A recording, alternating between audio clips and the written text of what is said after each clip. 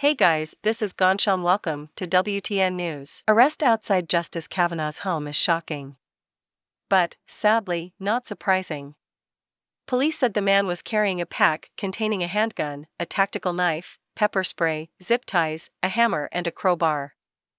The arrest of a man near of the home of Justice Brett Kavanaugh early Wednesday is a chilling escalation in our age of rage. Police said the man, identified in court records as Nicholas John Roske of California, had a pack carrying a Glock pistol, a tactical knife, pepper spray, zip ties, a hammer, and a crowbar. Roske, according to news reports, was angry that the Supreme Court may overturn Roe v. Wade this month.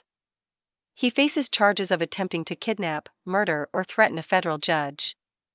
This incident came after a judge was recently zip tied and killed in his Wisconsin home, a former defendant in the judge's courtroom has been charged.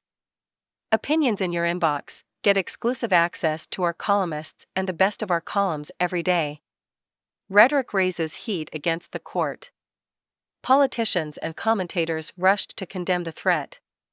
Few of them, however, are willing to admit that it was both shocking but not surprising. For months, critics of the Supreme Court have ratcheted up the rhetoric against Kavanaugh and his colleagues, including calls for protesters to be more aggressive outside the justices' homes.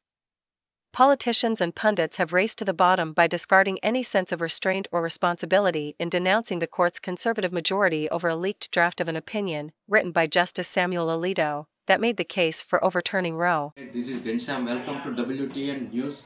If you want to more update regarding world trending news, then subscribe our channel and press the bell icon and share with your friend and family.